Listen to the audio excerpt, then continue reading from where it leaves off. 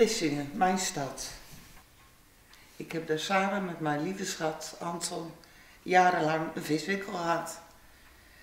We hebben er hard gewerkt, maar ook ontzettend genoten. Genoten van de omgeving, genoten van de scheepvaart, de visserij. Ik sluit nu een periode af en ik ga op een nieuwe manier, op een andere manier, weer Vlissingen ontdekken en genieten van mijn Vlissingen. Onze viswinkel is een uh, begrip in Vlissingen. We hadden een uh, breed publiek van uh, vakantiegangers van heel Nederland, maar ook uit het buitenland. Mijn man was een creatieve ondernemer. Hij maakte zelf rolmops met mayonaise, die ontzettend in trek was en nog steeds is. Want als ik bekende klanten tegenkom, nu Anton er niet meer is in Vlissingen, vragen ze mij het recept. Kitty, heb jij dat recept van de rommels mayonaise nog? Hij uh, was ontzettend begaan met kwaliteit en heeft uh, twee keer de lekkerste haring van uh, Nederland een prijs gewonnen. Hij heeft in Amsterdam met het Landelijk Visbureau meegedaan aan een wedstrijd, de lekkerste lekkerbek van Nederland. En ook daar won hij ja, heel trots de prijs, de lekkerste lekkerbek van Nederland. We hebben uh, een aantal jaren geleden de zaak verkocht en we zijn gaan genieten op een andere manier van Vlissingen. Nu is het jammer dat ik zonder hem verder moet, maar ik zie een nieuwe uitdaging voor mij om Vlissingen weer uh, op een andere manier te omhelzen.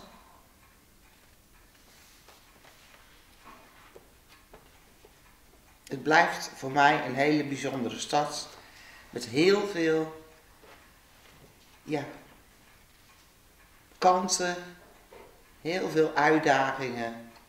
En daar ga ik gewoon voor. Vlissingen, heel bruisend. Onze viswinkel heet de Zevenshandel Frans de Munk. De opa van mij, Frans de Munk, die heeft dit uh, replica hoogaarsbootje gemaakt, eigenhandig, in zijn vrije tijd. Mijn vader, ook Frans de Munk, is de winkel uh, gestart op de Oude Markt in Vlissingen. En uh, in de jaren 80 hebben Anton en ik de zaak overgenomen van mijn ouders en zijn we boven de winkel gaan uh, wonen. En hebben we genoten van de Vlissingse binnenstad. Overdag hard werken en s'avonds even genieten van uh, wat Vlissingen, het uitgaansleven, maar ook de natuur, de mooie uh, uitzichten op de boulevard. We hebben ontzettend genoten in Vlissingen.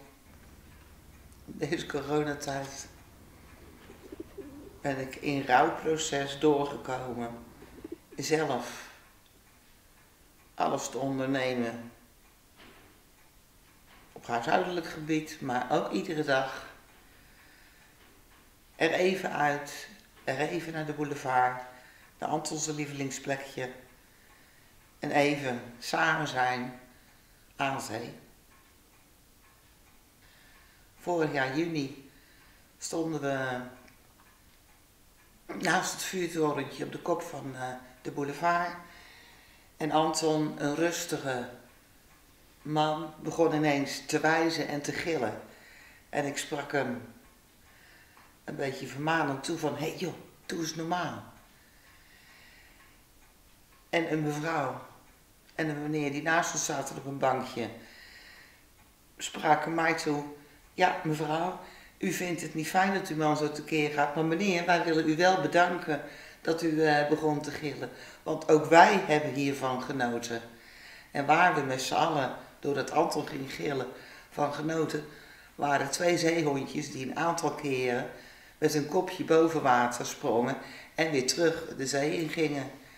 En door zijn uitingen hebben we het allemaal uh, kunnen zien.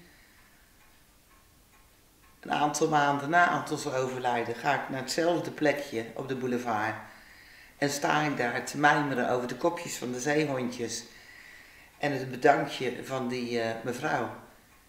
En ik kijk op de zeewering en ik zie daar een steen liggen.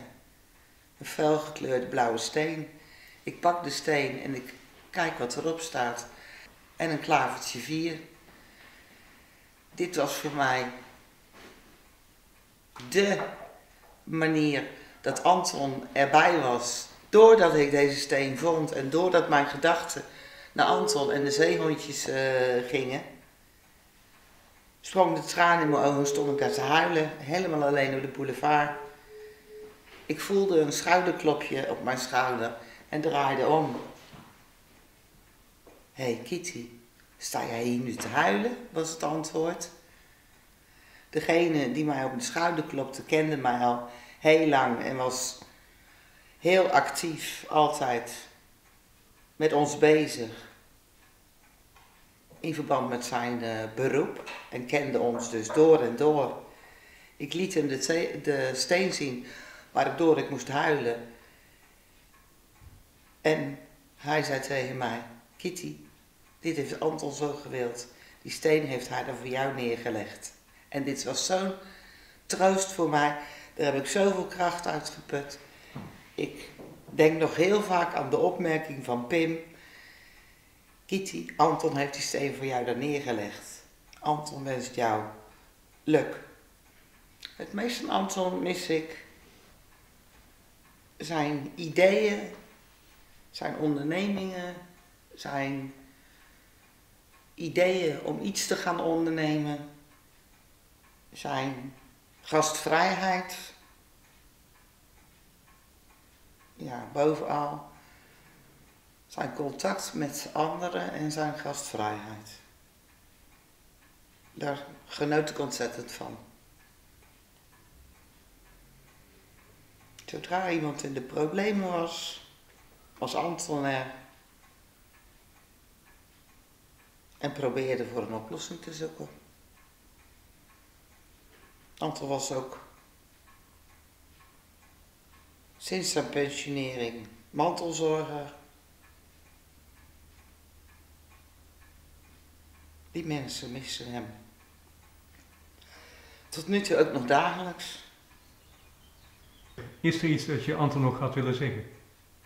Ja, lieve schat, dank je wel. Dank je wel dat je me steunt. Dank je wel dat jij het mij mogelijk maakt. Dat ik mensen ontmoet. Dat ik rust vind. Dat ik de kracht vind. De liefde vind. Om verder te gaan met mijn leven in Vlissingen.